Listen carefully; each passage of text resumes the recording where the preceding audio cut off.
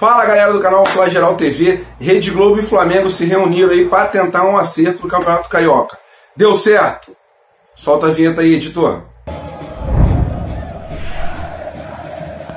Galera, esse vídeo é um patrocínio da OneFootball, o melhor aplicativo para futebol no celular. Lá você encontra as notícias atualizadas também do Flamengo. Alô, alô, nação rubro-negra, aquele abraço. Meu nome é Pedro, sou apresentador aqui da Flageral TV e hoje eu vou trazer algumas notícias do Flamengo aí, começando por Flamengo e Rede Globo. A Globosat pediu uma reunião com o Flamengo ontem, quinta-feira.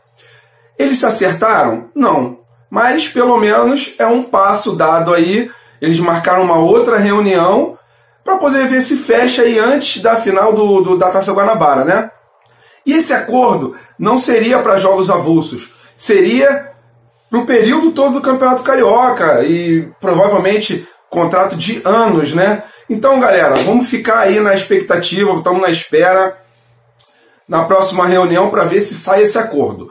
Na, no, na reunião de ontem não saiu o acordo, mas pelo menos a Globo se reaproximou do Flamengo depois daquelas rusgas né, do, do Faustão falando besteira e o Flamengo respondendo e a Globo respondendo de volta. Entendeu? Então, galera, pelo menos a Globosat já foi lá, pediu uma reunião para o Flamengo, já mostra aí que ela está com interesse de acertar. Agora, o negócio é eles fecharem financeiramente um acordo aí, porque realmente estava muito distante uma proposta da outra. Vamos ver na próxima reunião se fecha, tá? Galera, o atacante Pedro processou o Fluminense aí devido à grana. Então, Pedro é mais um jogador do Flamengo que processa alguma coisa. O primeiro foi o Rafinha e agora é o Pedro processando o Fluminense, né? Na partida aí contra o Flamengo, a torcida do Fluminense gritou pague as famílias, pague as famílias, e a torcida do Flamengo gritou coisas é, como se a torcida do Fluminense fosse menininha.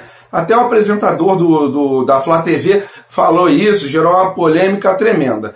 Eu acho engraçado, né? Eles falam das famílias, chamam o time de, de assass, né? Não vou nem falar a frase, senão desmonetiza o vídeo.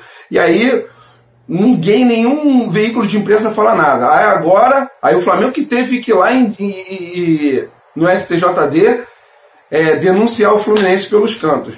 E agora ninguém denunciou, já o STJD já vai lá e já estuda a análise da denúncia sem ninguém denunciar sobre os gritos do, da torcida do Flamengo. Eu acho muito, muito menos ofensivo o que a torcida gritou do Flamengo do que a torcida do Fluminense vem gritando aí e vem falando. Em relação a isso, galera, é, o Flamengo tentou acordo, fechou com algumas famílias e com outras não fechou. As outras famílias preferiram ir para o advogado para tentar um valor maior ou alguma coisa a mais. O Flamengo tá pagando, estava pagando uma pensão de 5 mil, Aí a justiça determinou 10 mil de pensão, o Flamengo pagou, já entrou em acordo com 19 famílias e meia, né? Faltam aí seis famílias e meia, né? Porque fechou com o pai de uma mãe. Então, é, fechou com o pai de um menino e não fechou com a mãe.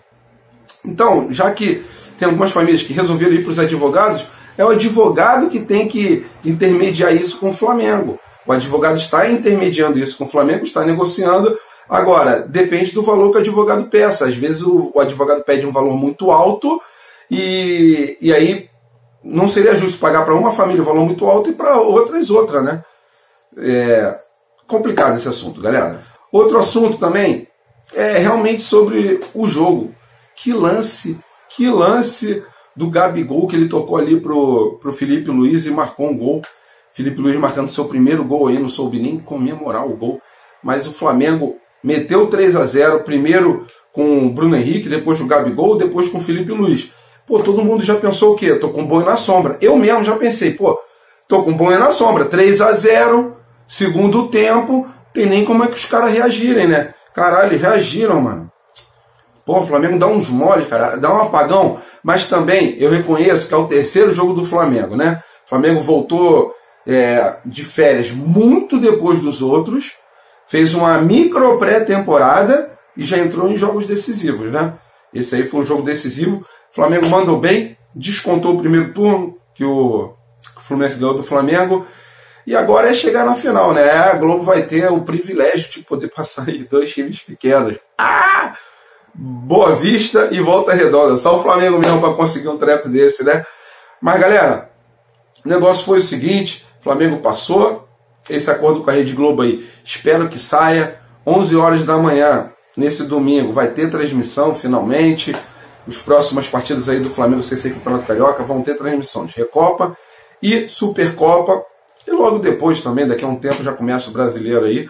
Mas vamos ver se o Flamengo se acerta para esse campeonato carioca. Lembrando para vocês que o Léo Pereira ele não está na ponta dos cascos, né? Ele sentiu muito aí. Devia ter outra preparação no Atlético Paranaense, né? Diferente da do Flamengo. É, então ele já sentiu uma contusão aí. É, fadiga muscular, né? No primeiro jogo ele já pediu arrego, no segundo jogo pediu arrego também.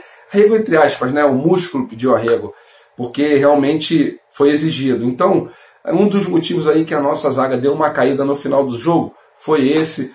É, Léo Pereira muito cansado, Gustavo Henrique também muito cansado no final do jogo e Léo Pereira está praticamente cortado aí da partida de domingo. Também não teremos Gustavo Henrique porque ele já tinha sido expulso no jogo contra o Santos, na partida contra o Havaí, e vai ter que cumprir suspensão nessa partida agora. Então, nossa zaga aí tá, cara, tá brabo o negócio. Vamos ter o Tuller, que eu confio muito, e vamos ter provavelmente também o Rodrigo Caio, que já está voltando, já está treinando, mas a gente sabe que ele não está 100% depois desse corte profundo que ele sofreu no joelho. Galera, as notícias são essas, fiquem com Deus. Sextou, boa sexta-feira. Se beber, não dirija. Se dirigir, não beba. Tamo junto, galera!